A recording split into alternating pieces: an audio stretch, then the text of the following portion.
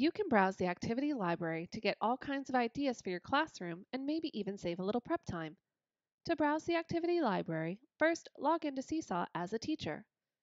I'm already logged in, so I'll tap the green Add button.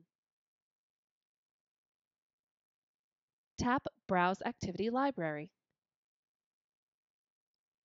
Our Getting Started collections are a great place to start exploring activities and learn how to use Seesaw with your students.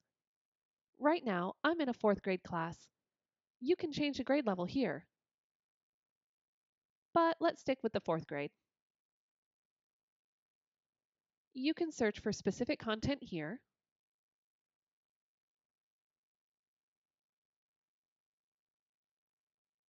Or choose your subject from the drop-down list here.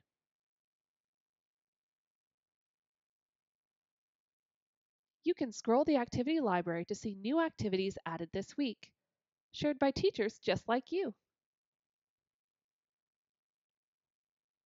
Let's take a look at the Getting Started collection to find an activity to share. When you see an activity you like, tap the heart icon located in the top right of the activity.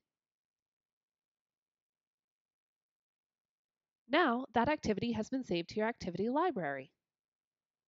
To view activities you have saved to your activity library, tap My Library located at the top of your screen. Here you will see all the activities you have created or saved from the Seesaw library. We hope the Seesaw Activity Library will help you try something new with your students.